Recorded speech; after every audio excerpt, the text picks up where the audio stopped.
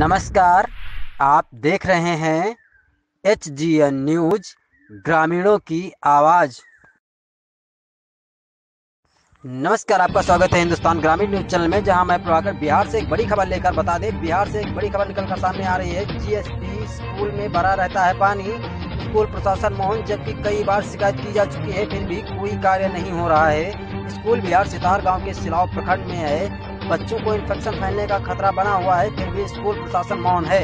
हम आपको बता दें, बिहार सितार गाँव के डीएसपी स्कूल में दो महीने से भरा रहता है पानी।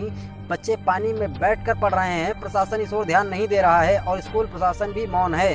बच्चों को इन्फेक्शन होने के खतरे बने हुए हैं। स्कूल सिलाव प्रखंड का है। जीएसपी कॉलेज स्कूल में बच्चे पानी में बैठकर करते हैं पढ़ाई। स्कूल प्रशासन इस ओर ध्यान नहीं दे रहा है। ब्यूरो रिपोर्ट, हिंदुस्तान ग्रामीण न्यूज़ चैनल। सच्ची और सही खबरें सबसे पहले पाने के लिए देखते रहिए एचजीएन न्यूज़ ग्रामीणों।